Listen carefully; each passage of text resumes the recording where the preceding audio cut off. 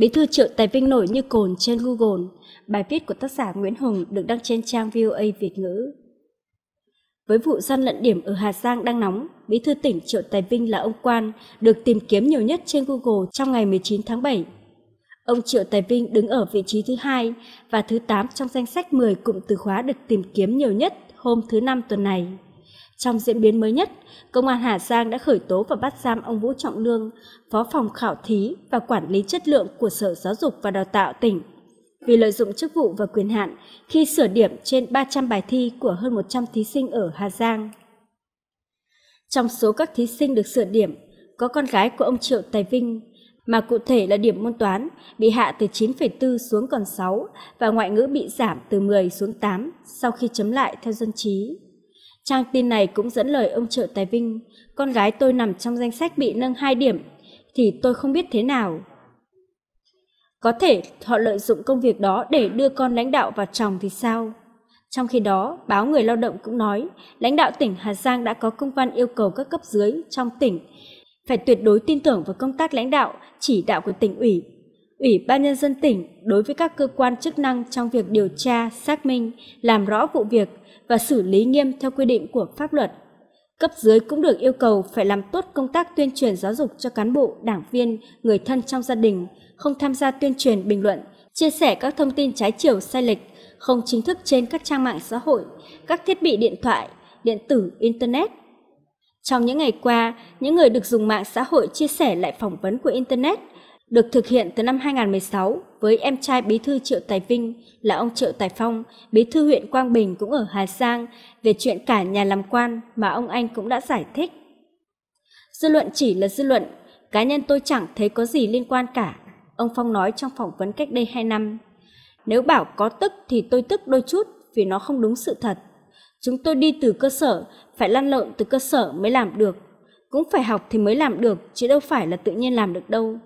Khi đó ông Phong cũng xác nhận, nhà tôi có năm anh em ruột, cùng làm trong cơ quan nhà nước. Gia đình dù là dân tộc thiểu số, là dân tộc giao, nhưng sinh ra trong gia đình cán bộ, không phải là nông dân. Con gia đình cán bộ thì chắc chắn là ở đâu cũng được học hành. Còn học cái gì, làm cái gì thì có thể mỗi gia đình có sự khác nhau. Bí thư tỉnh ủy Hà Giang lý giải việc cả nhà làm quan Chiều ngày 17 tháng 9, Bí thư tỉnh ủy Hà Giang Triệu Tài Vinh đã trả lời những câu hỏi của phóng viên dân trí xung quanh việc nhiều người thân trong gia đình ông đang nắm giữ các chức vụ lãnh đạo ở nhiều cơ quan, ban ngành trong tỉnh Hà Giang. Những hình ảnh này không có lợi, ảnh hưởng xấu đến uy tín của tôi. Tôi không mong muốn, tôi không mong muốn người nhà tôi lên làm lãnh đạo, ông Vinh nói. Trong ngày 17 tháng 9, thông tin về những người thân trong gia đình ông đang làm lãnh đạo ở nhiều cơ quan, ban ngành tỉnh Hà Giang tràn ngập mạng xã hội Facebook Phóng viên, trong ngày 17 tháng 9, thông tin về những người thân trong gia đình ông đang làm lãnh đạo ở nhiều cơ quan, ban ngành tỉnh Hà Giang tràn ngập mạng xã hội Facebook. Ông phản ứng như thế nào khi biết những thông tin này? Ông Triệu Tài Vinh, sáng nay tôi nhận được nhiều tin nhắn về việc này lắm. Người ta nhắn thông báo có sự việc như thế, vì hôm nay thứ Bảy nhưng tôi vẫn phải họp thường vụ tỉnh ủy. Nhưng cái này không hay lắm, hệ lụy là những lời bình luận, theo đó nhiều thứ lắm. Nhưng đã làm lãnh đạo thì phải luôn luôn chịu áp lực này. Phóng viên, thưa ông, những tên tuổi chức danh gắn với mối quan hệ của Bí thư tỉnh ủy Hà Giang được chia sẻ trên mạng xã hội có đúng hay không? Bí thư Triệu Tài Vinh, tôi chia sẻ với tư cách là một công dân mạng, nhưng gia đình nhà tôi và cá nhân tôi không phải là người ham chức vụ quyền lực. Các việc cụ thể thì đã rõ ràng rồi. Tôi xin nói một hình ảnh như thế này. Năm 1999, tỉnh Hà Giang có lấy phiếu tín nhiệm để tôi làm lãnh đạo một huyện. Tôi có gặp lãnh đạo tỉnh khi ấy và nói rằng tôi không thể làm được đâu, các chú cho cháu làm phó văn phòng ủy ban nhân dân huyện là được rồi, chứ không thể làm phó chủ tịch huyện được. Nhưng sau đó tôi vẫn được bầu làm phó chủ tịch ủy ban nhân dân huyện từ năm 1999 đến năm 2004. Năm 2006, khi đó vợ tôi là cán bộ phòng kỹ thuật Sở Nông nghiệp và Phát triển Nông thôn tỉnh Hà Giang. Nhưng mà ngành đề nghị đưa vợ tôi sang làm tri cục trưởng tri cục bảo vệ thực vật. Hai vợ chồng tôi cũng lại phải sang xin giám đốc Sở Nông nghiệp. Nói thôi chú ơi, cháu đang là ủy viên dự khuyết trung ương, bận lắm, rồi bố cháu mới nghỉ hưu. Bố ông Triệu Tài Vinh là ông Triệu Đức Thanh, nguyên chủ tịch ủy ban nhân dân tỉnh Hà Giang.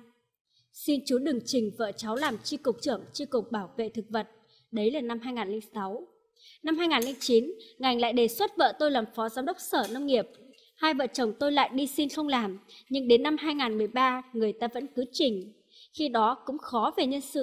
mà vợ tôi là Phạm Thị Hà, chứ không phải là Đặng Thị Hà đâu. Nhân vật thứ hai người ta nhắc tới là Triệu Tài Phong, bí thư huyện Quang Bình, là em ruột của tôi. Năm 2007 đang là phó giám đốc tài nguyên tỉnh Hà Giang, thì Phong được lãnh đạo tỉnh Hà Giang. Khi đó tôi chưa phải là lãnh đạo tỉnh đâu, luân chuyển về làm phó chủ tịch huyện Quang Bình, giữ chức này tới năm 2011. Nhưng năm 2012, ông Nguyễn Quang Tuệ, bí thư huyện ủy Quang Bình, được điều động lên tỉnh làm giám đốc sở thông tin và truyền thông. Ông Tuệ trước đây là giám đốc đài truyền hình tỉnh Hà Giang, nên khi đó anh em ở huyện. Rồi trưởng ban tổ chức tỉnh ủy có đề xuất Phong lên giữ chức bí thư huyện thay. Tôi lại về bảo không được đâu. Tôi có nói với trưởng ban tổ chức tỉnh ủy là Phong không được đâu vì năm 2011 là phó chủ tịch huyện. Đến năm 2012 mới làm chủ tịch huyện được có một năm, không thể làm bí thư huyện ủy được, đề nghị không được trình. Ban thường vụ huyện ủy bảo nếu không như thế thì đề nghị bí thư tỉnh ủy đề xuất con người. Thế là tôi lại về Hà Nội gặp anh Lê Quang Minh, tỉnh ủy viên tránh văn phòng tỉnh ủy đang học cao học tại Học viện Nguyễn Ái Quốc. Vận động anh Minh giúp ban thường vụ đi làm bí thư huyện ủy một lần nữa, vì trước đó anh Minh đã là bí thư huyện ủy Xí Mần rồi. Anh Minh đồng ý, năm 2012 đến 2014 thì anh ấy giữ chức bí thư huyện ủy Quang Bình. Năm 2014, chuẩn bị cho đại hội thì anh Minh được ban thường vụ rút về làm chủ nhiệm ủy ban kiểm tra.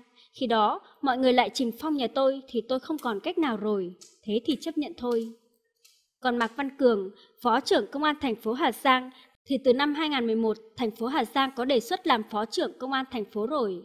Cường vừa học xong cao học, phải có thực tiễn, mặc dù đã làm công an ở huyện Yên Minh và huyện Hoàng Su Phì, và bấy giờ là thành phố Hà Giang là nơi làm việc thứ ba. Nhưng nó là em rể tôi, vừa học xong, và hồi đó có câu chuyện tế nhị nên tôi không cho, cho dừng lại. Mãi sau đó mới bổ nhiệm đấy chứ. Rồi Triệu Sơn An, phó chủ nhiệm Hoàng Su Phì không phải là Triệu Tài An đâu, là em trai út của tôi. Quê tôi ở huyện Hoàng Su Phì, người giao đông lắm nên cơ cấu cán bộ lãnh đạo huyện bao giờ cũng phải có người giao tham gia lãnh đạo để đảm bảo cân bằng và dân vận cho tốt. Anh em ở huyện có đề xuất xin chú An vào Hoàng Su Phì làm phó chủ tịch huyện. Tôi có bảo rằng không được đâu, thằng An học xong làm bảo hiểm, chuyên viên kinh tế chưa lâu nên không cho đi. Tôi có nói với các lãnh đạo huyện Hoàng Su Phì là phải tìm người địa phương cùng dân tộc giao thì tốt hơn. Anh em hỏi, nên tôi đã nói quan điểm về một cán bộ thuộc huyện Hoàng Su Phì. Khi ấy được luân chuyển lên huyện làm phó phòng, có thể đảm nhận chức vụ phó chủ tịch huyện được. Nhưng khi làm quy trình, lại phát hiện người này chưa học chính trị, thế là lại không thể bổ nhiệm được. Các vị lại trình thằng An nhà tôi nên tôi đành phải chịu. Còn Triệu Tài Tân là một em trai nữa của tôi, thì không phải là phó giám đốc sở bưu chính viễn thông đâu. Nó là một thằng công nhân bình thường, công nhân thực thụ. Tôi rất thương nó, người ta cũng nể, bố trí làm phó phòng hành chính điều hành xe cộ. Nó mới học lớp 12, không học đại học gì cả. Anh em thấy thật thà, bố trí làm phó phòng hành chính điều hành xe cộ, mãi mới kết nạp đảng được. Em gái tôi là Triệu Thị Giang, cũng không phải là phó giám đốc sở kế hoạch và đầu tư Hà Giang đâu. Tôi đã nói rõ là nếu bổ nhiệm cô Giang lên trưởng phòng thì phải giải trình, bảo vệ đề án nếu mình được bổ nhiệm chức danh trưởng phòng trước tập thể ban thường vụ tỉnh ủy, chứ đừng nói đến phó giám đốc sở. Còn Triệu là Pham, phó trưởng ban nội chính tỉnh ủy Hà Giang và Triệu Thị Tình, phó giám đốc phụ trách Sở Văn hóa, Thể thao và Du lịch tỉnh Hà Giang là cùng họ cùng quê nhưng không phải trong gia đình nhà tôi, không phải chi trên chi dưới gì cả, nhưng dư luận cứ tưởng là anh em nhà tôi. Quê tôi là vùng đất hiếu học, có sáu khóa có đại biểu quốc hội. Đây là hai con người có học thức và đi lên bằng năng lực của mình. Triệu Lạp Pham là đại biểu quốc hội cơ mà. Tôi nói tất cả những việc đó để thấy rằng không màng chức danh quyền lợi chỗ nào cả. Phóng viên, cá nhân ông nhìn nhận thế nào về việc dư luận mạng xã hội dậy sóng trước thông tin cả nhà mình làm quan như vậy? Triệu Tài Vinh, tôi rất chia sẻ, nếu nhìn vào một lãnh đạo có nhiều người thân làm lãnh đạo trong tỉnh, là một hình ảnh không có lợi cho bản thân mình. Điều đó là điều không có lợi đâu, tôi không thích. Kể cả là con trai tôi vẫn đang học đại học, tôi đang lo mai kia nó ra, người khác lại nịnh nó này kia, tôi không cho phép. Tôi thấy hình ảnh này không tốt cho cá nhân tôi. Cộng đồng mạng nói như thế này là ảnh hưởng tới hình ảnh, uy tín của cá nhân tôi. Nhưng tôi cho rằng chỉ nên ảnh hưởng tới tôi thôi, không nên ảnh hưởng tới tỉnh Hà Giang vì đây là một tập thể làm rất nghiêm túc. Tình cảm cá nhân của tôi không vượt qua được nguyên tắc của một tập thể quyết định. Tôi đã nói với mọi người cân nhắc không được chỉnh như thế bao nhiêu lần, rất nhiều lần những hình ảnh này không có lợi, ảnh hưởng rất xấu đến uy tín của tôi. Tôi có làm bao nhiêu đi chăng nữa, nhưng hình ảnh này ảnh hưởng rất tiêu cực. Đó là cảm nhận của tôi, tôi không mong muốn người nhà tôi lên làm lãnh đạo. Phóng viên, nếu các cơ quan quản lý cán bộ ở Trung ương yêu cầu báo cáo về tổ chức cán bộ ở tỉnh Hà Giang, thì cá nhân ông vẫn khẳng định những người thân trong gia đình mình đã được bổ nhiệm đúng quy trình, đúng quy định. Ông Triệu Tài Vinh, năm nay tôi vừa được giám sát về vấn đề này. Kết luận rõ ràng rồi, không có vấn đề gì cả. Tôi đã được giám sát về công tác, nhiệm vụ, trong đó có bổ nhiệm cán bộ, có cả người nhà tôi. Tất cả đều có minh chứng của một tập thể hết. Tôi biết trách nhiệm của tôi chứ. Tôi nói với bạn thế này là tư cách một ủy viên trung ương, bí thư tỉnh ủy chứ không phải là bạn bè. Tôi nói những điều đó, bạn cứ yên tâm. Tất cả công tác cán bộ của tôi đều có hết rồi. Tôi chia sẻ với cộng đồng mạng vì sao như thế thôi.